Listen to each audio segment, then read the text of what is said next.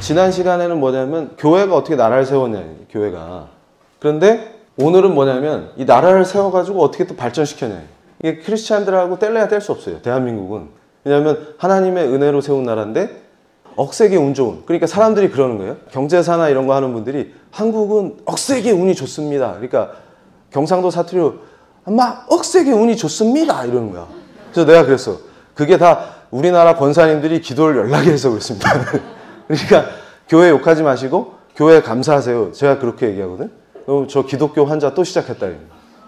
그러니까 실제로 사람들이 교회 욕을 하지만 교회에 되게 감사해야 돼요. 왜냐하면 운이 아니에요. 기도지. 하나님의 은혜로. 그러니까 우리가 착각하는 것 중에 하나가 뭐냐면 한국이 원래 괜찮은 나라였다라고 생각하는 그것도 교만인데 그러니까 제가 우리 젊은 세대에게 강조하는 건 뭐냐면 건국 이후를 저주하고 그 이전을 미화시키는 바보짓을 해서는 안 됩니다. 무슨 얘기냐면 저는 이제 제 스스로 연구를 하면서 막 그 편견과 잘못된 역사관과 이게 깨져나가면서 직면했어요. 뭐에 직면했냐면 우리가 어떤 자들인가에 직면했어요. 그건 뭐랑 같은 의미냐면 내가 어떤 자인가에 직면한 거랑 같은 원리예요. 그러니까 전엔 내가 잘난 줄 알았거든. 그랬더니 주님의 임재 안에서 내가 체험한 거는 나는 쓰레기구나. 그거였거든요. 그러니까 역사를 이해할 때 한국인이란 존재가 어떤 쓰레기 민족이었는지가 그냥 이해가 돼요. 죄성 최상, 우상 숭배 탑, 윤리 없음, 불학무식의 최첨단 이걸 깨달았대요. 그러니까 어떻게 돼요? 거꾸로 그런 땅에 복음을 주시고 우리에게 예수님의 은혜가 펼쳐지는 게 훨씬 백만 배 은혜가 솟구치는. 그래서 제가 그걸 이해했어. my people 하실 때 그 느낌이 뛰어난 애들을 my people 하는 게 아니야. 아, 그 은혜가 그냥 삼중 은혜가 덮치는 거예요. 아, 예수님 너무 사랑합니다. 어떻게 저같이 한심한 거를 위해서 죽으셨습니까? 이렇게 되는 거예요. 그러니까 이런 한심한 땅이 교회가 세워지는 것 자체가 기적이에요.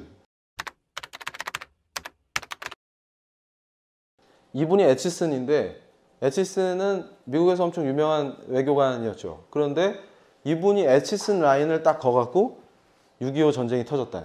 에치슨 라인은 미국의 방어선에서 한반도를 제외하는 결정이었죠. 그러니까 미국의 리더들은 어떻게 생각하고 있었냐면 간단해요. 일본이 원래 정상적인 힘과 위험을 회복하면 당연히 한국에서의 영향력을 되찾을 것이다. 미국의 리더들은 간단하게 생각했어요. 한국은 너무 저급한 땅이고 저급한 애들이기 때문에 일본이 미국한테 잠깐 덤벼서 혼내줬는데 그 뒤에 항복했잖아요. 그대로 말을 잘 듣는단 말이지. 얘들이 회복되면 당연히 옛날의 위험을 한반도에서 되찾으면 한반도 문제는 간단하다 이렇게 생각합니다. 미국의 리더들은. 그리고 실제로 러일 전쟁 이후에 일본에 대해서 미국이 얼만큼 좋게 생각하냐. 그거는 그럴 수밖에 없어요. 구조가. 그러니까 이런 거 강조해갖고 주사파가 되는 거예요. 바르르 떨면서 반미하자 이렇게 하는 근거로 제시하지. 여러분이 정신을 차려야 돼요. 그래가지고 일본과 공산권 아시아 사이의 완충지대로 우리가 등장하는. 그러니까 남한은 차로 치면 범퍼였다 그 말이에요. 미국한테는. 이 얘기는 왜 하냐면 우리가 건국한 나라가 근대화되는 과정에서 억세게 운이 좋은 걸 제가 보여드리려고.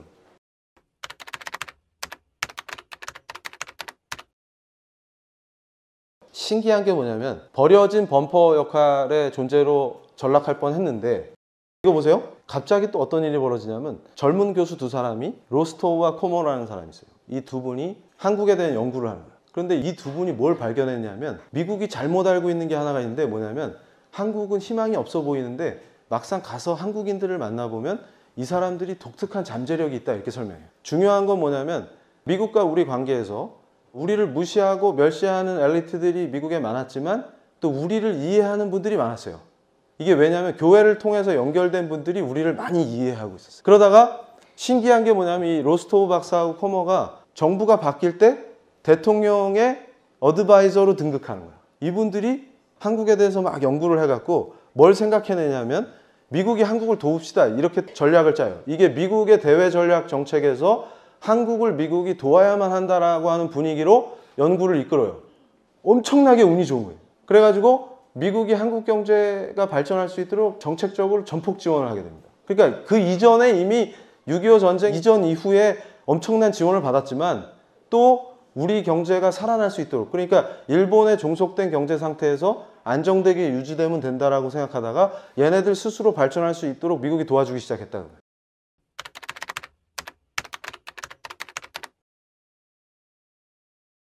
이제 미국의 전문가들이 박정희를 평가한 걸 보면 굉장히 재밌어요. 그러니까 미국이 볼 때 박정희는 굉장히 촌스러운 사람인데 박정희가 젊은 시절 만주국에서 보냈죠. 만주국이라는 땅은 독특합니다. 그러니까 정부가 주도해서 한 지역을 일시에 근대화시키는 거예요. 산업화시키고. 이게 일본 근대화의 전략입니다. 그러니까 이 당시에 조선 식민지 청년들에게 만주국은 기회의 땅인 거예요. 그런데 이 기술 관료 중에 이분이 누구냐면 기시 노부스케예요. 이분이 일본의 초엘리트 기술 관료인데 이분이 만주국을 디자인했다. 아베 수상의 외할아버지지. 나중에 이분이 또 일본 총리가 돼서 전후에 폐허가 된 도쿄를 재건하고 일본을 재건시키는데 또 활약을 해요. 그러니까 미국이 볼 때 박정희는 굉장히 촌스러운 사람인데 기시 노부스케의 전략을 따라하면서 급부상한 거죠. 근데 그 구조에서 수많은 내가 여기 이제 PPT에는 안 적었지만 이때 우리 크리스찬들이 엄청난 역할을 합니다. 그게 무슨 얘기냐면 박정희 정부와 크리스찬들이 연합하게 된 배경은 뭐냐면 반공에 있어요. 주로 평양 대붕 이후에 북한에서 회심해 하셨던 분들이 공산당의 만행을 보고 기겁을 한 거죠. 우리 기독교는 공산당과 함께 할 수 없다는 걸 깨닫고 월남하셔갖고 여기서 주축 세력이 되는데 이분들이 주로 미국의 유학 경험을 갖는다든가 이렇게 해서 굉장히 뛰어난 인재들이 많았는데 박정희 정권과 합력하면서 근대화를 확 이루어 버립니다. 그래가지고 이걸 이제 주사파 관점에서 보면 미국 기독교에 쩌든 제국주의 앞잡이들이 박정희와 연합해서 나라를 망쳤다 이렇게 설명해요. 근데 저는 반대로 우리 크리스찬들이 근대화의 주역으로 떠올랐다. 그 기독교 세력이. 그리고 그럴 수밖에 없는 게 교육을 통해서 사람이 키워지는데 교육을 시키고 사람을 바로 세우는 집단이 기독교밖에 없었어요. 그리고 모든 문화적 욕구가 충족되는 게 교회였습니다. 왜냐하면 너무 열악했기 때문에 상황이. 그래서 교회가 중요한 역할을 했다. 그런데 제가 미국 쪽에서 들은 쇼킹한 얘기가 뭐냐면 평양 대붕 때 예수 믿고 변화된 할아버지 무릎에서 자란 우리 교포들이 북한의 해방을 위해서 미국 정부에서 엄청나게 목숨을 걸고 일하고 있다. 그 얘기를 듣고 제가 소름이 돋았다. 예수교의 역사는 그렇게 하찮은 게 아닙니다. 만만하지도 않습니다. 왜냐하면 할아버지가 내가 어떻게 예수 믿게 됐다는 거를 손자한테 들려주는 거예요. 그러면서 말씀과 찬양 속에서 자란 이 친구는 당연히 저 악한 체제에서 신음하고 있는 북한의 크리스찬을 해방하기 위해서 자기가 목숨을 걸어야 된다라는 가치에 동의하게 되는 것이죠. 이해가 되십니까? 그런데 실제로 우리가 6.25 때나 그 이후나 한국이 재건되는 과정에서 그 크리스찬들의 역할은 굉장히 컸습니다. 그 심지어는 미국과 한미동맹을 체결할 때 우리 기독교계가 엄청난 역할을 또 했어요. 그런 것들을 우리가 잊어서는 안 됩니다. 그래서 제가 지난 시간에도 강조했지만 지금도 반일을 해. 아니 미국에 항복해서 아시아에서 미국하고 제일 핵심 동맹국이 일본인데 일본하고 원수 척을 지면 누가 어부지를 얻어요? 중국 공산당이. 그래서 어, 우리가 IQ 두 자리 이상인 사람들은 생각을 해봐야 됩니다. 정말로 통일을 하고 싶으면 어떤 통일이어야 되냐? 적화되면 연락 평화를 누려요. 우리 다 수용소 가면. 왜냐하면 어, 거기 가서 우리는 떠들 수가 없거든. 그럼 평화지, 피스야. 그런 건 원하지 않아요. 그러면 중국 공산당이 종교의 자유를 인정하고 무너져서 다른 자유민주 체제가 중국에 세워져야 우리가 진짜 평화를 누리는 거예요. 정은이하고 포옹하고 냉면 먹다 체하는 게 평화가 아니고 그래야 중국 땅에 복음이 막 전해질 거 아닙니까? 뭘 좀 생각을 하면서 살아야 돼요. 인생을.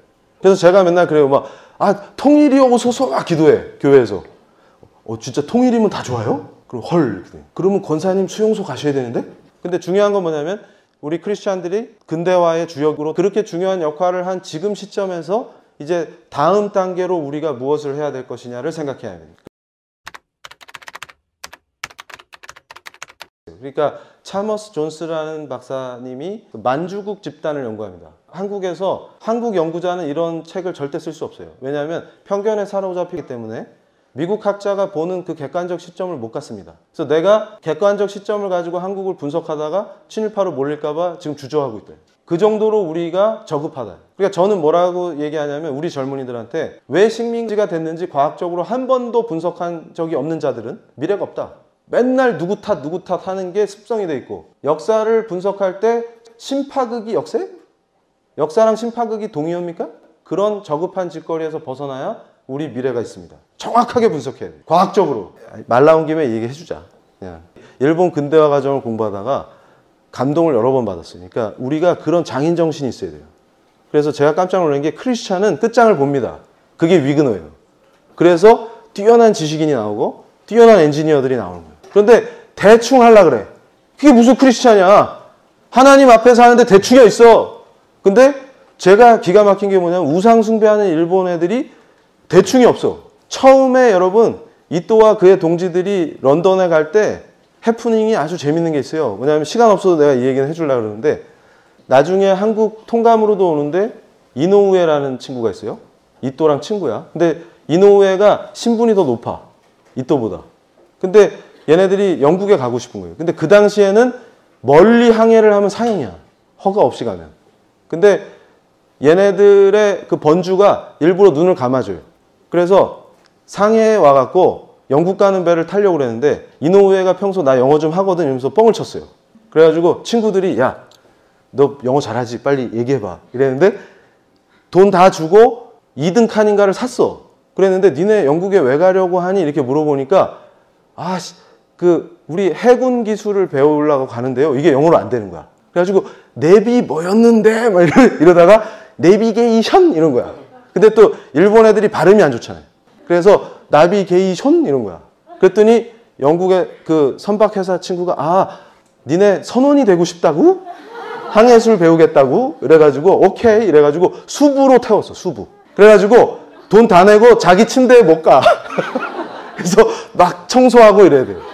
근데 문제는 뭐냐면 이 어, 이또가 설사병에 걸린 거예요. 음식이 안 맞아갖고. 근데 수부들은 화장실을 못 씁니다. 승객용 화장실을. 그럼 어떻게 해야 돼? 바다를 향하여 장전 이렇게 됩니다. 근데 이게 여러분이 어, 설사 해보신 분들은 다 알지만 다리에 힘이 빠집니다. 근데 배 난간에서 이게 파도가 치기 때문에 잘못하면 사망이에요. 그래가지고 이노우에가 런던에 도착할 때까지 이또를 이또가 야 필이 왔다 그러면 끈으로 묶어주는 거예요. 그래서 자기가 딱 잡고 있어. 이러고 간 거예요. 그래서 둘이 엄청난 친구가 돼요. 동지가. 근데 이게 또 슬픔이 어딨냐면 조준을 잘하면 좋은데 가끔 흘려. 그러면은 영국 선원들이 등치가 크잖아요. 맞는 거야. 처절해. 그래서 우리가 왜 이런 항해를 해야 하는지 도착할 때까지 몰랐대. 그래가지고 런던에 딱 도착하니까 애들이 만신창이가 되 그렇게 근대가 시작됐다. 딱 보니까 헐 런던을 보고 이 촌놈들이 조슈번 촌놈들이 완전 뒤집어져. 이 서양의 힘은 어디서 나오냐? 처음에 여러분 그거 아세요? 이또가 하급 무사였는데 개화파 암살하던 자였어요. 과거에 개화파 암살하던 그 하찮은 자들이나 주, 우리나라 주사파들이나 역사의식이나 수준이 똑같다 그 말. 왜 서양을 배워야 되는지를 모르니까 서양인이나 죽입시다 이러고 선교사들 오면 죽일라 그러고 그러는 거예요. 일본 개화파들 죽일라 그러고 그러다가 정신을 차렸다. 언제 정신을 차리냐면 5개국 연합 함대가 포격을 하는데 일본은 반격할 무기가 없어요. 그리고 일본 근대화를 주도했던 막부에 뛰어난 지식인이 있었는데 그분이 뭐라 그랬냐면 야 사무라이들 바보 소리 하지 마. 근데 이 사무라이들이 뭐라 그러냐면 일본은 신의 나라기 때문에 서양 애들을 다 죽여도 우리를 지켜줄 겁니다. 이런. 그때 개화파가 뭐라고 한지 아세요? 미국은 마음만 먹으면 또 군함을 보낼 수 있다. 얼마든지 일본에 올 수 있다. 근데 우리는 미국에 갈 수 있는 배가 없다. 이 전쟁은 시작할 수 없는 전쟁이다. 이렇게 얘기해요. 그러면서 해군을 근대 해군을 만듭시다 하면서 뭐라고 연설을 하냐면 우리가 강력한 해군을 만들어야 되는 이유는 미국과 전쟁을 하기 위한 것이 아니라 전쟁을 막기 위한 것이다. 똑똑하죠? 근데 우리의 멍청이들은 전쟁을 막기 위해서 무장을 해제하고 있어요. 우리가 무장해야 하는 이유는 전쟁을 막기 위한 것입니다. 저분이 프리드만이라는 기자인데 저분이 쓴 책이 뭐냐면 렉서스와 올리브나무예요. 예전에 이름은 프리드만인데 또 교수가 한 분 계신데 이분이 엄청 신자유주의 이론을 피는 분인데 그런 얘기를 한 적이 있어요. 여러분 그 일본에 방적기 회사가 하나 있었는데 이 회사가 차를 만든다 그러니까 미국 교수들이 비웃었어요. 야 일본이 무슨 차를 만드냐? GM도 있고 벤츠도 있는데 방적기나 잘해야지 이랬는데 나중에 자기도 그 차를 탄다 이렇게 고백하면서 미안하다 이랬는데 그 회사가 토요타입니다. 원래 방적기 회사예요. 이 프리드만 기자는 뭘 얘기하냐면 이 렉서스의 생산 방식이나 이런 걸 보면서 뭘 설명하냐면 세계화나 신자유주의의 이론적인 기초나 이런 걸 얘기하고 그러면서 올리브 나무가 상징하는 거는 고집스럽게 이런 변화에 편승하지 않는 집단을 설명하는 거예요. 그러니까 렉서스 쪽으로 가냐, 올리브 나무 쪽으로 가냐, 이걸 설명하는데 그러면서 이분이 내놓은 이론이 뭐냐면 맥도날드 그 황금 아치 있죠? 이 맥도날드가 세워진 데는 전쟁을 안 하더라. 이렇게 설명하는 거예요. 그런데 내가 이걸 소개하는 건 뭐냐면 프리드먼에 동의하자고 얘기하는 게 아니고 뭐냐면 우리가 착각하는 것 중에 하나가 뭐가 있냐면 기독교인들이 프리드먼식의 사고를 하는 게 또 맞다라고 생각하는 사람들이 있어요. 그리고 소위 자기가 보수라고 주장하면서 프리드먼적인 게 답이라고 얘기하는 사람들이 있어. 그런데 나는 그건 또 아니다. 그 말이에요. 그러니까 렉서스와 올리브 나무가 얘기하는 세계관을 탑재하는 게 크리스찬적이다라고 가르치는 것도 저는 반대합니다. 그렇기 때문에 우리가 제대로 조나단 에드워즈 박사님이 강조한 것 같은 참 신앙의 관점에서 경제 문제를 보고 자본주의가 어떻게 나가야 되고 우리나라가 어떤 방향을 가야 되고 이게 이해돼야 돼요. 그러니까 무조건 막 돈을 중심으로 돈이 왕이 되면 예수님 대신에 그걸 또 기독교인 것처럼 포장하면 그것도 죽음의 길이다. 그러니까 PLI 강의 중에 자본주의와 기독교 얘기할 때 내가 강력하게 얘기해. 자본주의가 탄생한 것도 결국은 우리 기독교예요. 종교개혁의 역사고. 그 다음에 애덤 스미스라는 탁월한 학자를 배출한 것도 기독교 전통이다. 그러니까 애덤 스미스가 종교개혁지에서 교육받지 않았으면 그런 이론을 내놓을 수가 없어요. 근데 그런 것도 모르면서 까부는 자들이 활개를 치니까 대학 진학률이 80%를 넘는 나라가 사상 최대 무식한 나라로 전락하는 겁니다. 그래서 제가 오늘 여러분에게 얘기하는 건 뭐냐면 정치, 경제, 사회, 문화 내가 경제를 어떻게 다룰 것이냐 내가 정치를 어떻게 인식할 것이냐 내가 어디에 어떻게 기여할 것이냐 이런 것들의 모든 문제의 본질이 조나단 에드워즈 박사님이 얘기한 참 신앙이 기초가 되지 않으면 다 꽝이다 그 말. 그러니까 뭔가에 또 설득당해서 침 흘리면서 거기 쫓아가는데 그게 죄 짓고 죽는 길이다. 그러니까 대각성의 의미는 바로 그 죄와 싸우는 우리 크리스찬의 본질적 신앙이 회복되고 예수님의 임재 속에서 누리는 그 평화와 안정과 생명을 누리면서 나가는 길입니다. 이제 정리가 싹 됐죠. 그래서 결국 인류 정치사의 역사가 경제사의 역사가 왕이신 하나님의 것이고 그분이 주권자라는 걸 우리가 인정하면서 참 신앙을 세우면서 여러분이 속해 있는 각 분야에서 탁월하게 언더우드처럼 헨리 정처럼 리더가 되시길 바랍니다. 감사합니다. 성경적 세계관 교육 PLI